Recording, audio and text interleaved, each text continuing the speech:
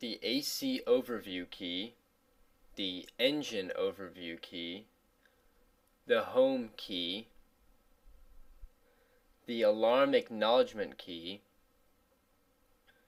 the warning indicator and event reset key, the event log key,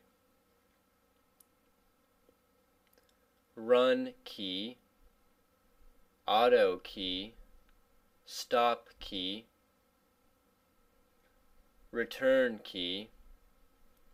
OK and enter key, and the directional keys.